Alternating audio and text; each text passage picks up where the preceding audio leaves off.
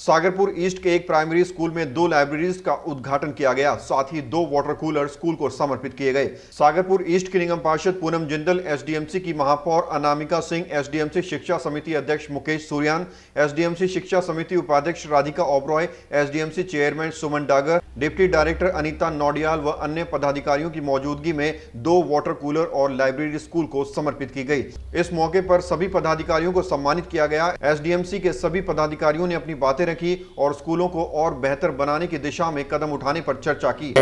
Library almost हमने सौ स्कूलों में बनाई है इस बार। और सभी में आर वाटर, पानी के लिए सारे कनेक्शंस और पानी के सैनिटाइजर्स मशीनें, वो सब लगाने का काम कर रहे हैं। ये शिक्षा बढ़ेगा तो देश बढ़ेगा और देश बढ़ेगा तो परिवार बढ़ेगा, समाज बढ़ेगा। तो मेरे सभी शिक्षा के जो विभाग के लोग हैं, आज वो शिक्षा को लेकर इतने चिंतित है कि वो हर कदम शिक्षा के बारे में सोचते हैं।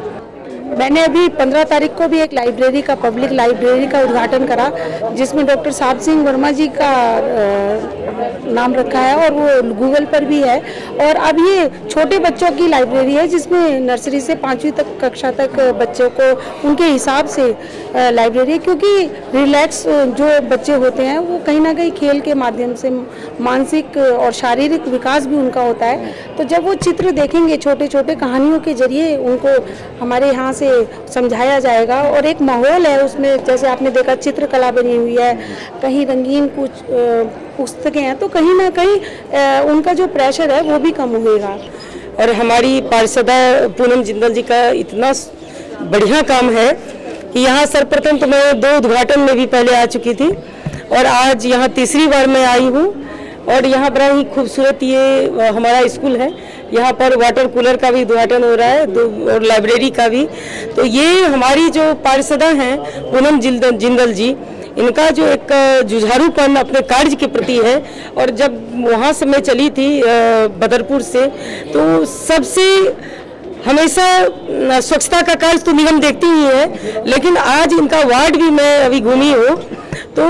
यहाँ पर इतने ये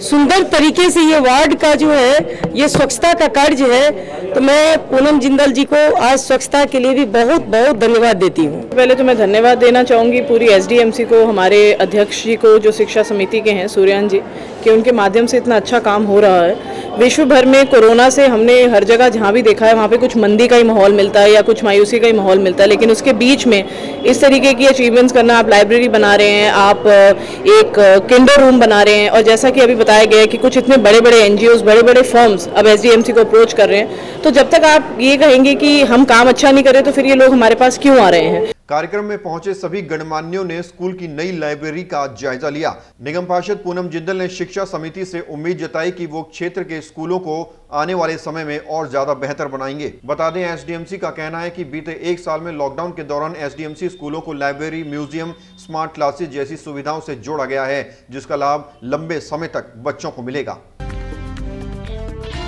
खबरों से खबरदार रहने के लिए चैनल को सब्सक्राइब करें और प्रेस करें बेल आइकन।